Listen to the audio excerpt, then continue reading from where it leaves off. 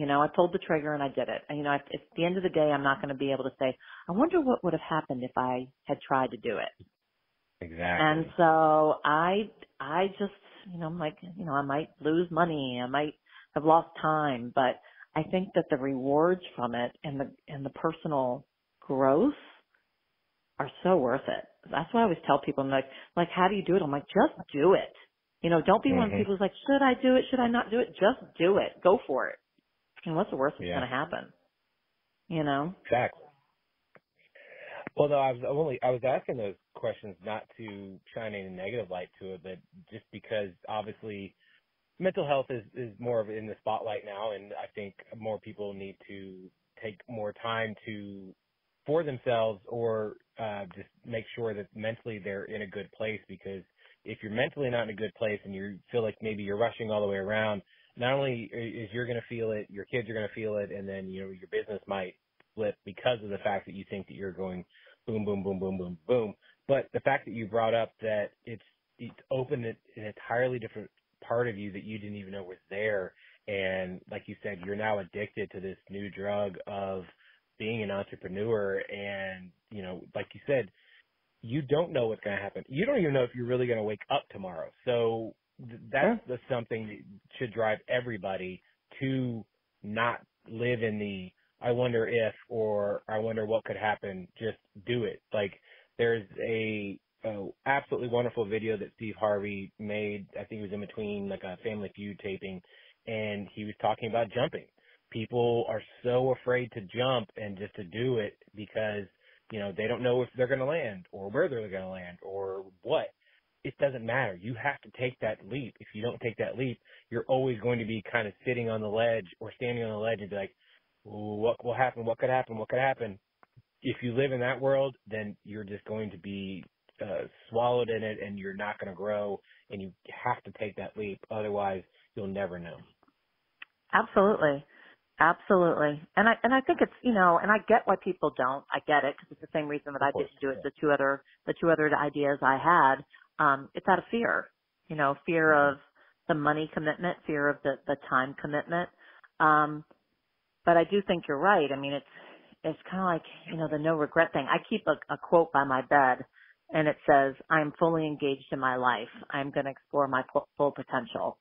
And I always like look at it and think, okay, you know, I'm fully engaged. Like I'm, I'm going for it, you know, because we get one life, we get one, you know, one run with this. Like how are you going to use your time? You know, what extra potential do you have that you're not actually exploring? And so that's what I'm doing. I'm like, I'm exploring my full potential, you know, and I thought it was always going to be medicine. And now I'm seeing like, no, I'm actually pretty good at sales and I never knew I was, you know, Right. um, you know, I'm, I'm actually pretty good at being the vision of a, a business and, and running it. And who would have thought? So, so, you know, um, I mean, that's the cool part. So yeah, no regrets, but, um, yeah, no, I'm with you. I'll have to look up that Steve Harvey thing. I like him anyways. yeah, he's oh, he's amazing. I'll I'll find the clip and I'll, I'll send it over to you. Okay, cool. Thanks. Yeah, no problem. Uh, so I have a segment on the show I call it the five count. It's five random questions. Uh, just Okay. as quick as possible. Uh, what would your last meal be? What did you say? What? What would your last meal be? What would my last meal be? Yeah. Ooh, sushi. Ooh, nice. Is there any specific uh, sushi that you enjoy? Everything raw. I'm like, yes, I don't like cooked sushi. All raw. Sashimi Fair even. I don't even need the rice. Yeah, sashimi. Oh, sashimi is so fantastic. Uh, if you were a pro wrestler or MMA fighter, what would your name be? Ooh. Ooh, I guess cocktail princess. Ooh, I like that one. Uh, what are three things people would not expect about you? Three things people would not expect of me. Um, that I am certified in lice removal. That I didn't know you could be certified in that. Interesting. Yeah, I am certified. That's one of the other businesses I thought about doing. Don't even. It's it's a crazy thing that I had. Yeah, I, another obsession. But yes, I'm certified in lice removal. Don't be afraid of lice, everyone. It's not that scary. Um, Uh, I am a phenomenal cook, I have to say. Oh. And I have a real, real fear of flying. So all business meetings on multiple coasts will be uh, car. Or I have learned how to self-medicate because I still, I Ah, still get on a plane, but I know, I know how to, I know how to self-medicate. There you go. Uh, who or what inspires you? oh gosh, my children, um, inspire me. I would say other entrepreneurs inspire me. Um, I love following other entrepreneurs. Sara Blakely is super fun to follow. Um, I love her inspirational quotes, but I also too, I love listening to any sort of podcast that talks about an entrepreneurial. I listen to a lot of, um, um, uh, Ry Gaz, um, who does How I Built This. Um, that. I love listening to other entrepreneur stories. Those super inspire me. Like if I'm having a down day, I'll listen to one of those and I'm like, oh, they went through this too.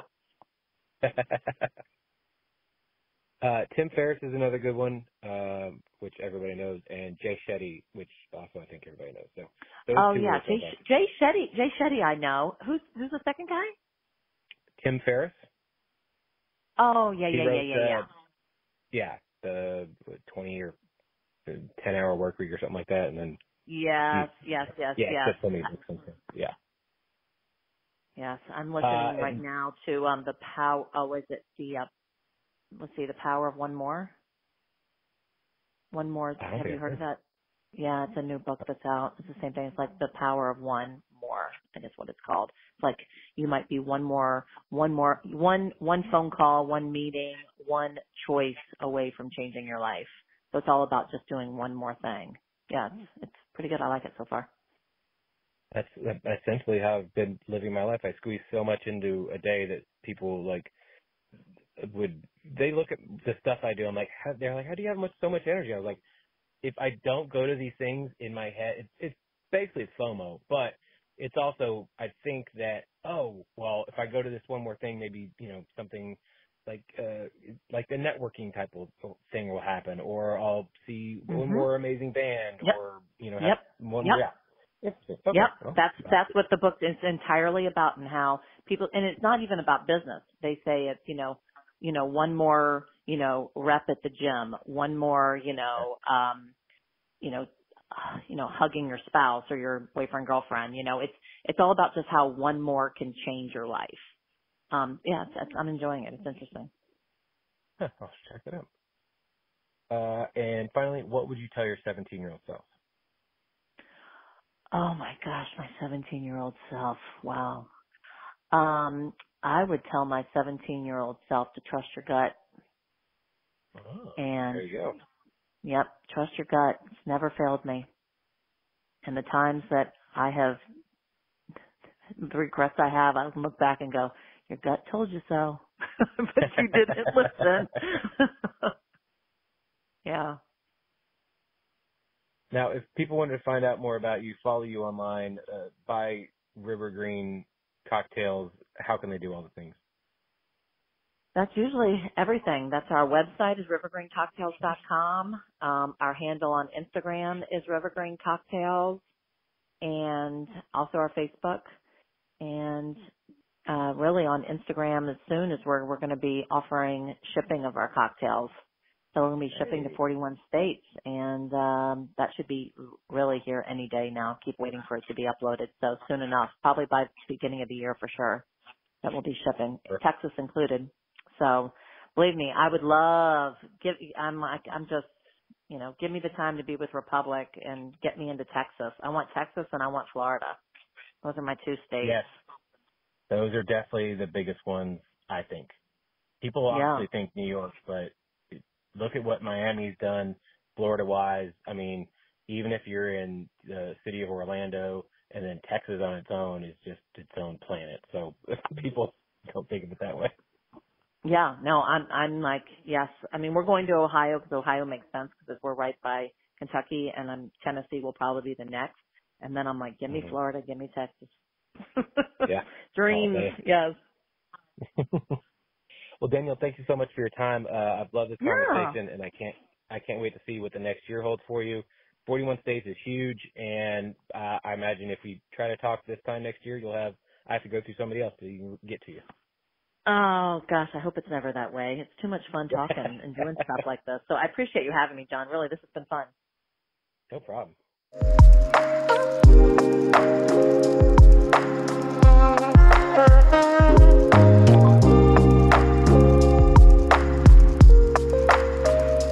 Thank you so much to Danielle for being on the show. Again, get yourself some River Green cocktails and do not worry, I will in fact be posting that shotgun video of me uh, this week. So look for that on our social media.